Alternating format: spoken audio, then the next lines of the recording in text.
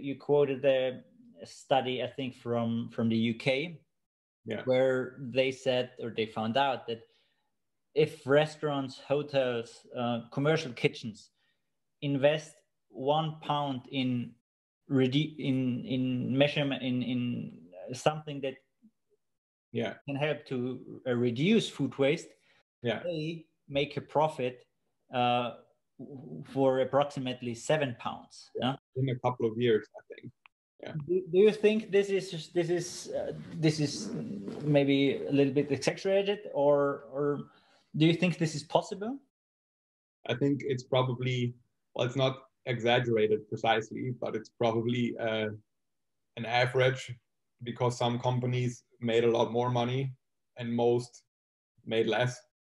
But I think it is a, a profitable investment. Yeah, but you you you worked in the hospitality industry. Uh, how is it how is it possible that I can um, save uh, money by factor seven? Um, I've uh, I've read similar um, articles between factor three and maybe factor 10 yeah so it's you you have to buy less food you have to prepare cook less food and you have to pay for less uh, food waste disposal. So is yeah. there something missing or? No i think that's the biggest point. I think most restaurants go bankrupt because they throw away too much food. Their inventory is too big and they lose too much of it. Yeah. So finding ways to reduce that is uh, is huge for the financial uh, side of the restaurant. In one of my last interviews, I interviewed Babak and Nina, two scientists, and, and since then I've uh, still read a lot about um, all-you-can-eat restaurants because this was the topic back then to, to reduce food waste in all-you-can-eat restaurants. And I found out that there are already uh, all-you-can-eat restaurants where you don't have to pay for the food to enter the restaurant, but uh, also to you have to pay for everything you waste. You you leave on your plate. Your plate waste gets weighted, and then you have to pay I don't know X euros or dollars per 100 gram of, of waste. Yeah. Uh, have you have you heard about that, or do you know about similar uh, ways how to avoid food waste? Well, I haven't heard about that uh, specifically.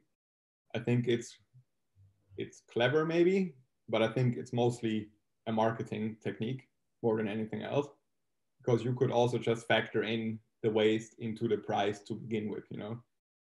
Yeah, and then well, it's obvious basically, but yeah, I think it, it's it got people talking about them probably, so that's clever. And and I don't know. I'm curious what you would think. Um, it what effect it would have. Yeah? Maybe there are the people on the one side that say, okay, um, yeah, I will eat everything I put on my plate because I don't want yeah. to pay for it twice. Yeah. I, I, have to pay the lump sum to get in the restaurant, and then I have to pay um, related to my to my food waste.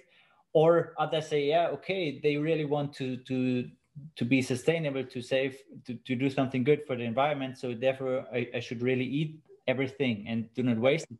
But on the other hand, there are people that say, no, uh, I don't want, uh, um, I, I want to stay slim. I, I, I don't know. And they, they don't care if they have leftovers on their plate. Yeah. Um, what do you think, uh, Gen Y people? Are they more on this on which one of the two sides are they? Uh, I think you can't generalize fully, but I think mostly uh, younger generations, Gen Y, Gen Z, are uh, quite environmentally conscious. So I do think they want to reduce waste. So I'm not sure how aware they are how much waste restaurants do produce. Also, the the tactic this particular restaurant used. I don't know. I mean, if you get a lot of plates back that aren't finished, instead of making the people pay for it, that's one solution. But I think that maybe you're doing something wrong as a restaurant if you get too many plates back unfinished. So that means either your food isn't good enough or more likely you're serving too much of it. And I know there are then exceptions. No matter how much you serve, something will always come back by some people. But if you look at the average, usually your plate should be empty, otherwise you're serving too much.